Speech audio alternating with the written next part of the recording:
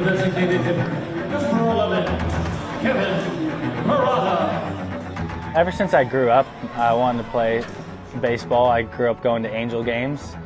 Played multiple different sports throughout my entire time, but figured out, I'd say probably early high school, that baseball was my real passion to pursue.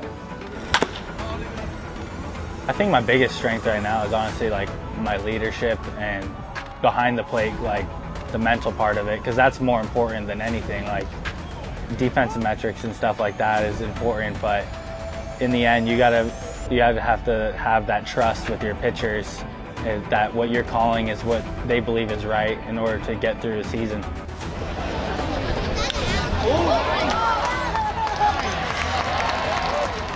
He can definitely swing the bat. He's got a great game plan. He's one of the few guys, I think, at this level that knows what his game plan is offensively and doesn't deviate from it. He's he gets it in that respect. We're trying to get him a little bit more consistent uh, defensively. You know, the knock on him, if you will, has been his, his, his arm strength. He's working diligently on it.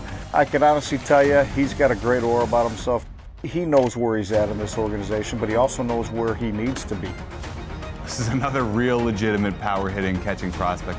Maybe a guy who can hit 270-ish, 25 bombs in the big leagues, play you a decent catcher. That's a really good prospect, and everyone wants to trade him yeah. because you have Alvarez. Don't trade him. Think about that tandem, DHing Alvarez from time to time. Maybe Parada plays a little first base if you need him, a little DH himself.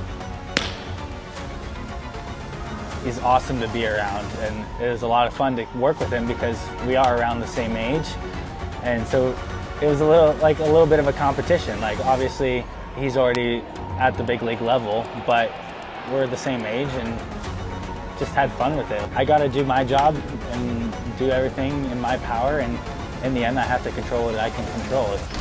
It's not my decision when it's my time. I believe I have the talent. I believe I have the ability to be there, and it's just continuing to play every day and learn things that will come up as experience and time goes on.